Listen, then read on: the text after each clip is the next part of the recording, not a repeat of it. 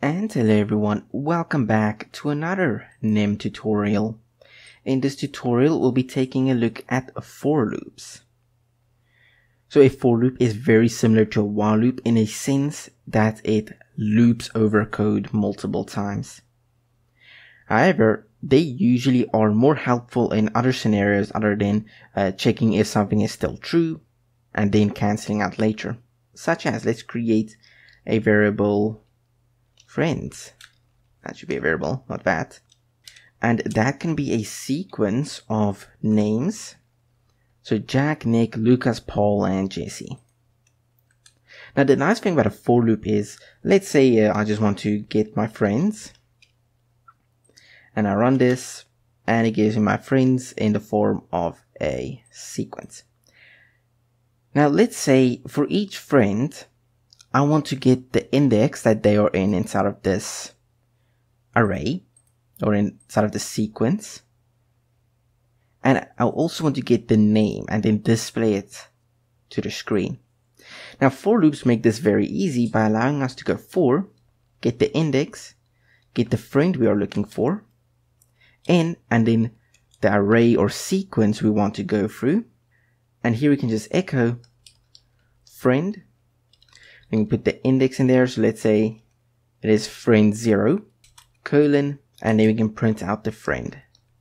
So this will get the index, so zero, one, two, three, the index, and this will get the actual piece of text in here. This could be a number or whatever, but in this case, it's a piece of text. So it will get Jack, Nick, Lucas, and Paul. And for each person or each friend inside of this sequence, we are going to run this command or run this statement here. If we run this, We'll get friend 0 is Jack, friend 1 is Nick, friend 2 is Lucas, friend 3 is Paul, and friend 4 is Jesse.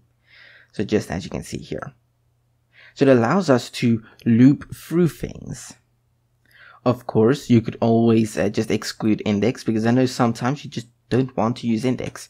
Now you can just say for a friend inside of our friends list here, we can just go friend, colon, and then friend. We do that, we get friend, Jack, Nick, Lucas, Paul, and Jesse. Now for loop is of course a little bit more useful than just looping through a list of things, such as you can go for a number in the numbers values 1 to 5. So it will loop through the numbers 1 to 5. If I say echo num, we will get all the way from 1 to 5. Very, very simple. If you want to make it go from 1 to the number right before 5 or the number right before this value here, you can do this. This means go from 1 to 4, or if I did this, 1 to 5. It's up to you which you prefer. If you then run it, then there we go. This is useful for, let's say, you are reading from a text file and you want to get all of the lines before the very last line then this can be very useful. You can also count with it. So let's say count, and here we can go count up or count down. We'll look at both. 1, 10, 2. And we can just say count. Now if we run this, we'll get from 1 to 10, but in steps of 2. So this will just count up from 1 to 10 in steps of 2.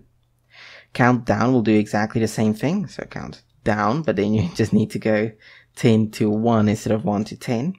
And this field right there is optional, so you don't need it. You can remove it and both count up and count down, and now it will count downwards. It's also useful if you want to just, in general, count things, such as, let's say, variable LC for letter count, and that can be 0. Then you can say for letter, in, and then if we can put a string here, and then we'll go through each and every letter in the string. Hello world. And in here we can say if the letter is equal to O, then LC plus equal 1. And you can go echo LC. This also shows you, and there should be a single quote because that's a character, not a string.